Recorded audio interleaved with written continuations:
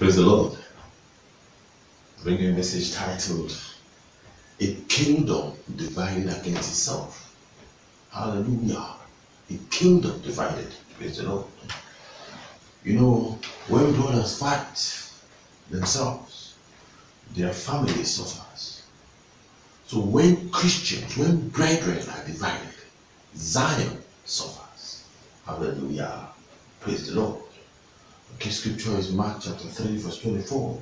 The kingdom divided against itself. He says, it shall not stand. Hallelujah. That's what we want to deal with today, so that the brethren can understand what God expects of us. Hallelujah. Praise the Lord. Jesus Christ is our flag. The church is divided today mainly because brethren don't understand that we should fly the flag of Christ. Hallelujah. Praise the Lord. We fly the flag of our different churches instead of the flag of Christ. We celebrate our different ministries instead of the crown of Christ. Hallelujah. Praise the Lord. That is what the enemy is taking advantage of to divide the church. Hallelujah. I want to tell you that this probably explains the reason why the Turkish church fell. The Turkish church must have been divided too. Northern Turkey, Southern Turkey, Eastern Turkey. So while Northern Turkey was under attack, the Southern Turkey church must have been folding their hands. Hallelujah. Praise the Lord. In any case, let's go ahead. I want to read to you 1 Corinthians chapter 1, verse 9 to 13. Say, God is faithful by whom you were called unto fellowship, unto the fellowship of his Son Jesus Christ our Lord. Now I beseech you, brethren, by the name of our Lord Jesus Christ, that ye all speak the same thing, that there be no divisions among you, but that ye be perfectly joined together in the same mind and in the, in same judgment. Hallelujah. Praise the Lord. That's Apostle Paul addressing the church. Praise the Lord. He says, For it had been declared unto me of you, my brethren, by them which are of the house of Chloe, that there are contentions among you. Now, this I say, that every one of you said, He said, I am of Paul, I am of Apollos, I am of Cephas, I am of I, I of Christ. Hallelujah. I am of living faith. I am of Christ embassy. I am a Roman Catholic. I am an Anglican. That's what he's talking about. Hallelujah. He says, Christ divided. Was Paul crucified for you? Or were you baptized in the name of Paul? Praise the Lord. I thank God that I baptized none of you, but Crispus and Gaius, lest any should say that I baptized in my own name. Hallelujah. Praise the Lord. Hallelujah. You need to hear the scriptures. Hallelujah. We are celebrating our ministries, not the crown of Christ. Praise the Lord. Hallelujah. Did the Pope die for you? Did Pastor Chris die for you? Did Bishop Oyedepo die for you? Hallelujah. Praise the Lord.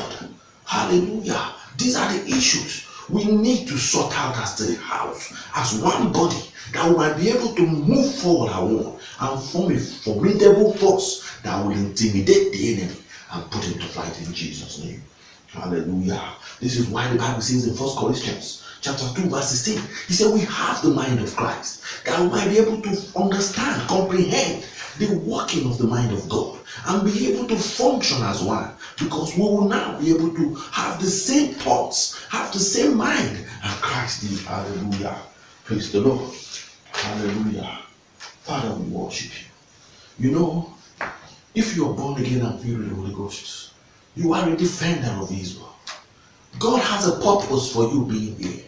You are not just here to pass through. Hallelujah. That's why He gave you the mind of Christ.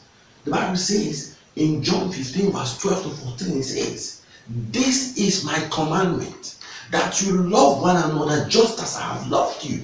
Hallelujah. Can you imagine that?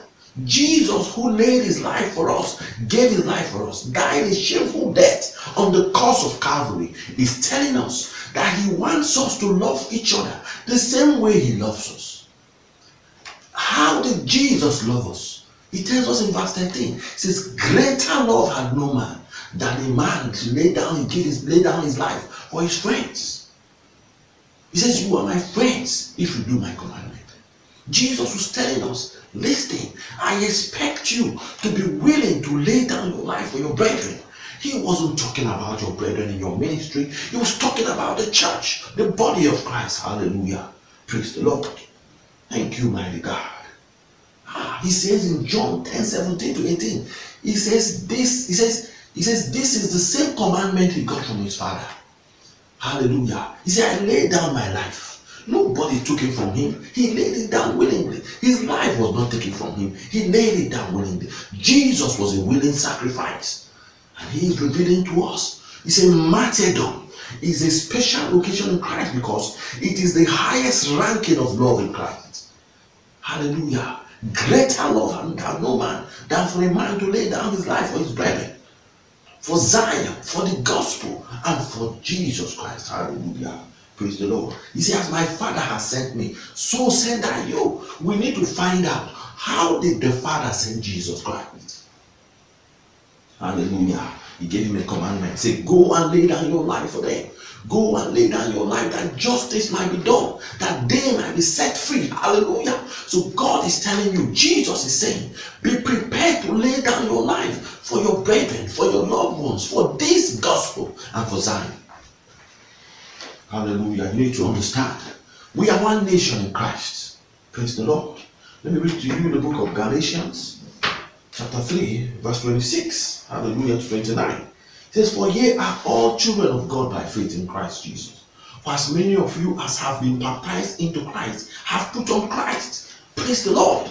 The brethren you are seeing in other ministries, they are putting on Christ just like you are putting on Christ. That is our common identity, our commanding identity, the most important identity that we have. Hallelujah.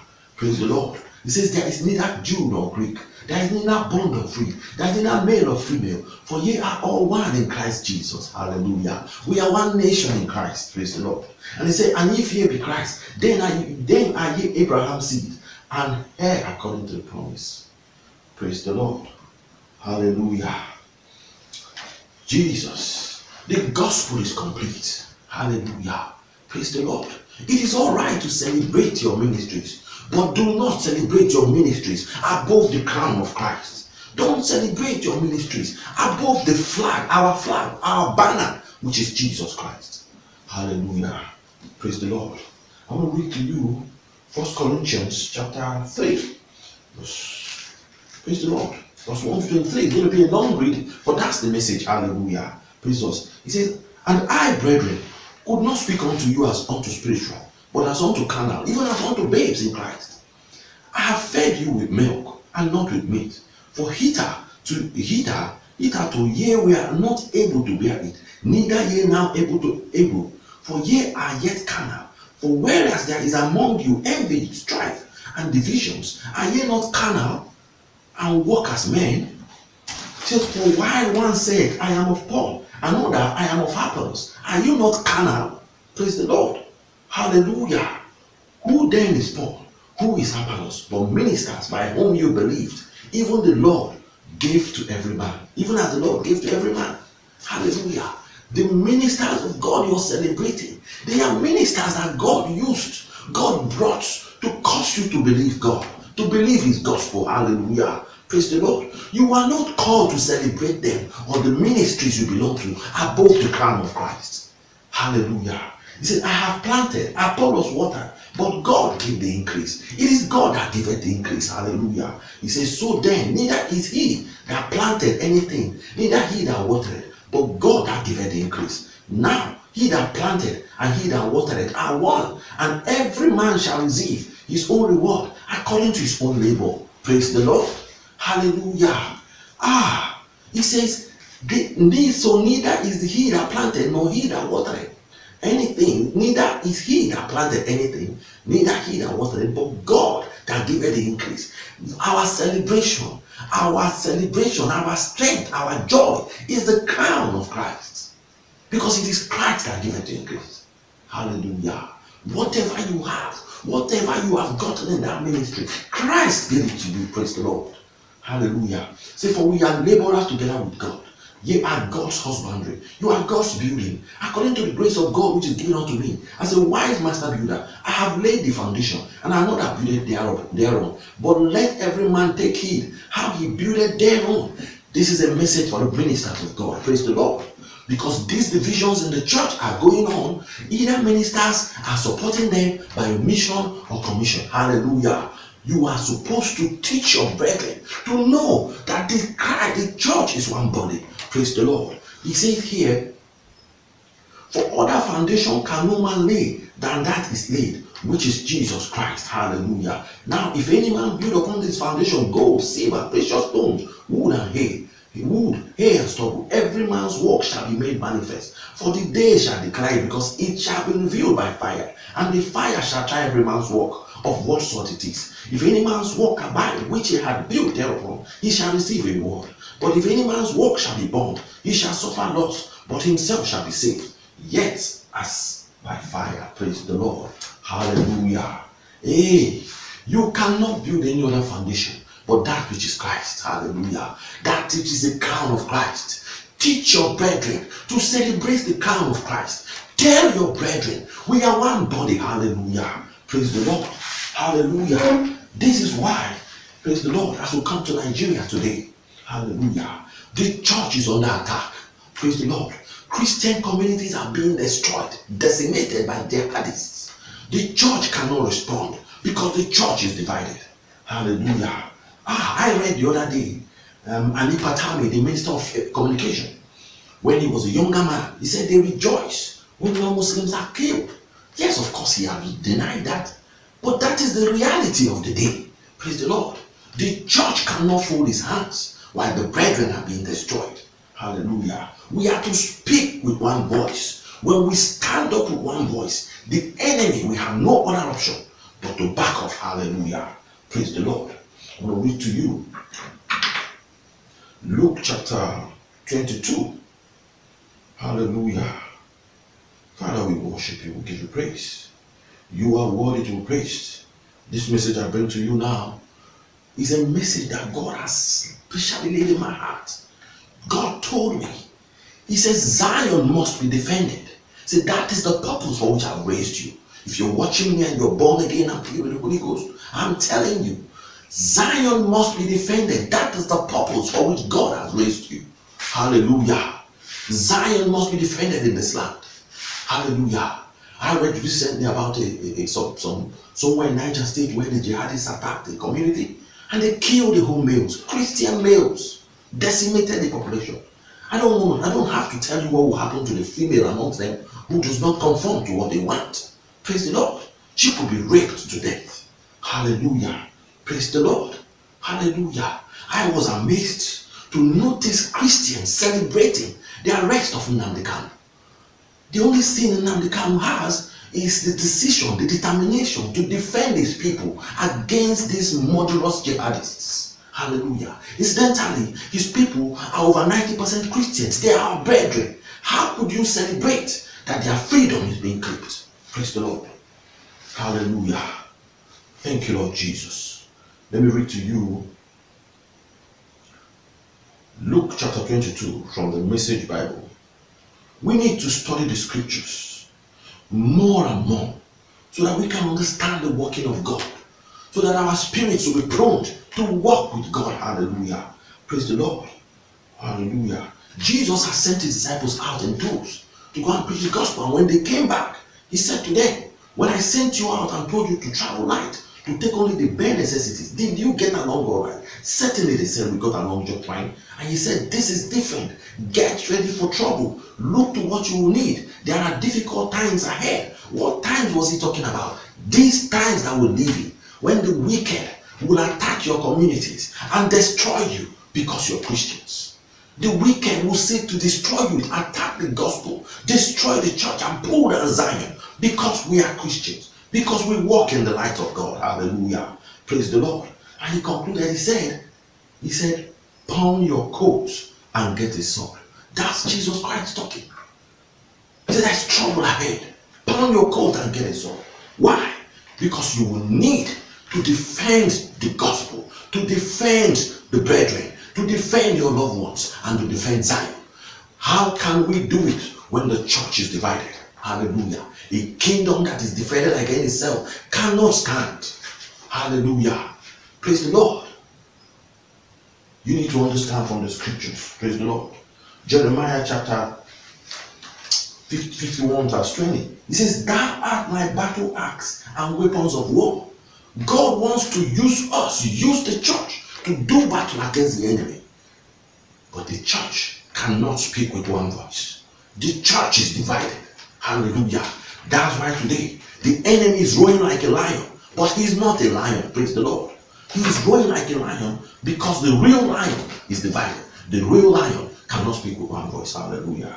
Praise the Lord. Bible says in Leviticus chapter 6, verse 28, 26, verse 8, he says, For five shall chase a hundred, and hundred shall put ten thousand to flight. He's talking about us. If we speak with one voice, no man shall be able to stand against us. Hallelujah. Praise the Lord. He told Joshua, He said, One of you shall chase a thousand, and two ten thousands. Hallelujah. If the church will speak with one voice, no force in the universe will be able to withstand the church. Why? Because the God of heaven's armies will come down in Zion to defend her. Hallelujah. Praise the Lord. That's what the Bible says in Galatians chapter 6, verse 10. It says, Do good unto all men, especially those who are of the household of faith. What is he saying? He says, Listen, pay special favor, be favor those who are the household of God. Hallelujah. Paul, in Galatians chapter 1, verse 10, Paul said, He said, If I please men, I am not a servant of Christ. This message is not for the politically correct Christian. You have no business being a politically correct Christian. Jesus was not. You should not be. Hallelujah. In friendship with the world is enmity with God. You need to get that into your head. Hallelujah. The Bible says in Psalm chapter 1, 103 verse 1, how good and how pleasant it is for the brethren to dwell together in unity in Zion. Praise the Lord. Because when we are united, the anointing will move forward. No man shall be able to stand before us. The Bible says, when God led Israel from Egypt, hallelujah, when the Red Sea beheld his glory, the Red Sea gave way. In the wilderness, he made a highway through the wilderness. The mountains and the hills, they skip like lamb and sheep. The wall of Jericho could not stand. The Jordan gave way. Hallelujah. Praise the Lord. This same glory is the glory that will be unleashed when we speak with one voice and with one mind in Jesus' name. Hallelujah. We are one body in Christ. The church cannot be divided. Hallelujah. Praise the Lord. You can celebrate your ministries, but bear in your mind, put it in heart. Our uniting power is the crown of Christ. We are all putting on Christ. That is our commanding identity. That is our universal identity. That's the message I bring to you today. If you're watching me and you're not born again, I tell you, there is no other name given to men by which we will be saved but this name Jesus. Men seek several other ways by which to find God, but there's only one way to God. This man, Jesus. That's why the Bible says, except a man be born again, he cannot see God. Hallelujah. He cannot see the kingdom of God. Romans chapter 10, verse 13, it says, Whosoever shall call upon the name of the Lord, he shall be saved. Therefore, if you are led to give your life to Jesus, I want you to pray with me now. Open your mouth and speak. Say, Lord Jesus, I believe you are the Son of the living God. You came from heaven to the earth in the flesh. You suffered, you were humiliated, you were crucified on the cross of Calvary.